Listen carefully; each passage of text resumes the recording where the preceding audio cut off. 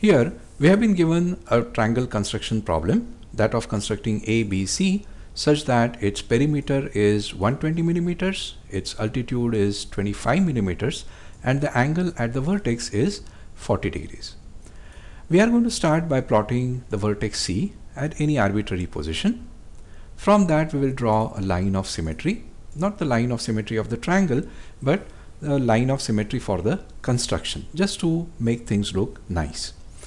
Then we are going to plot the angle 40 degrees equally about that line of symmetry so 20 degrees on the left and right so that now we can plot the loci of A and B. So A is going to be somewhere on this line, B is going to be somewhere on that line. But these are kind of infinite lines. Let's narrow it down to some specific segments of these lines. So think of this perimeter as a loop of string 120 millimeters long and you are going to shape that loop using three pegs say A, B and C so that it assumes the shape of a triangle. How far can you go using a loop 120 millimeters long? Well, the farthest you can go is half of it 60 mm by folding the loop onto itself and therefore on this line A cannot be farther than 60 millimeters from C. Similarly on this line C will be 60 or less millimeters away from C. So let's plot these kind of limits on A and B. They can at the most be 60 millimeters from it. So the extreme positions of A and B I have marked as A dash and B dash. Now let us think of the base. Can the base be here from A dash to B dash? Obviously not because we have consumed the length 60 mm here and length 60 mm here so that 120 is all used up there is nothing left to create a base out of. And therefore, to create a base, we will have to carve out some length from this side, carve out some length from the other side, and then fashion a base out of it. Here is what I mean. We are going to take this red segment from locus of A, we are going to take the green segment here from locus of B, and we are going to fold them in so that they become collinear and meet in this point T in a precise manner.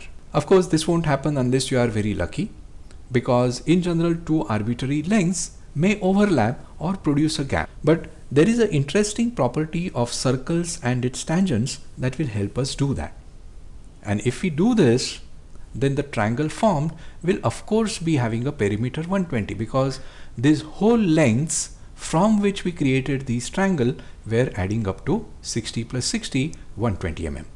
So imagine a circle which is centered on this line of symmetry. This line of symmetry is actually the angle bisector of our 40 degree angle. So it will be capable of being tangential to both those lines, the loci of A and B simultaneously. In fact, there are infinitely many such circles and there will be one such circle which is not only tangential to both these loci but will also pass through A prime and B prime. Here is that circle. So when we have drawn that circle, A dash and B dash become the points of tangency of these two tangents. And then there is a property. If you draw two tangents to a circle from an external point, then both the tangents will have the same length. In fact, we can see it here 60 millimeters and 60 millimeters.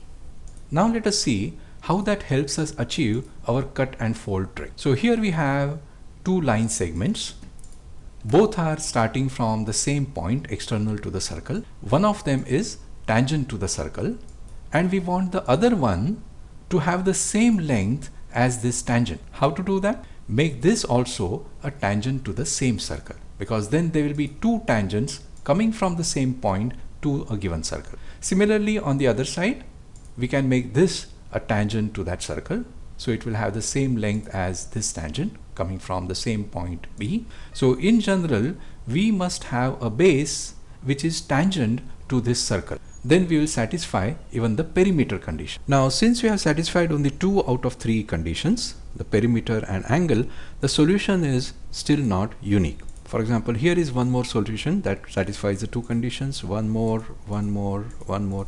In fact, there will be infinitely many such triangles possible we have to choose one of them so that this base or this tangent is at a distance 25 the altitude from this vertex C.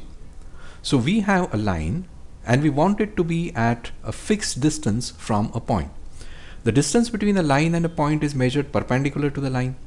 So think of something that gives you a fixed distance from a point like a circle. Its radius is that fixed distance and perpendicular to radius that's the tangent. So we are going to draw a circle with C as the center 25 millimeters as the radius and we are going to make this line tangent to this. So our base is tangent to this circle and it is tangent to that circle as well. So we are basically going to draw a common tangent to both these circles. If you want to know how to construct a common tangent, click this link.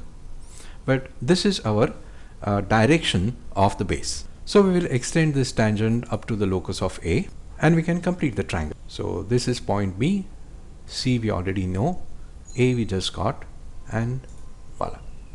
A quick recap of the construction.